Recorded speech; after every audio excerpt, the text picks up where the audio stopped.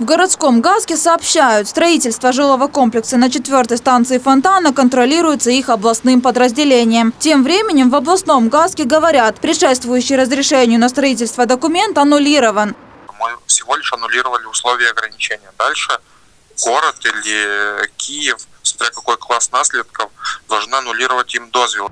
Отсутствие градостроительных условий и ограничений запрещает проектирование и, соответственно, строительство объекта. Несмотря на это, работы здесь ни на минуту не прекращаются. На территории Дерби-хауса вовсю трудится строительный кран. В то же время в сети активно распространяются объявления о продаже квартир на этом объекте. Я хотела бы узнать по поводу квартир маленьких однокомнатных. Какие сейчас наличия есть?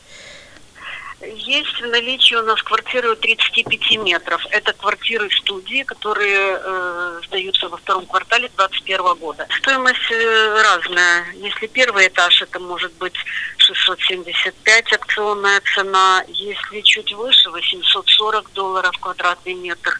Мы лично пришли в отдел продаж и поинтересовались, известно ли менеджерам о том, что они незаконно продают квартиры. Сотрудница компании информацию о запрете на строительство опровергает. Нет запрета на строительство, были некоторые нарушения в э, плане архитектуры. Архитектура. Да, и разбираемся с этим вопросом. Наши юристы уже работают, стройка, как видите, движется.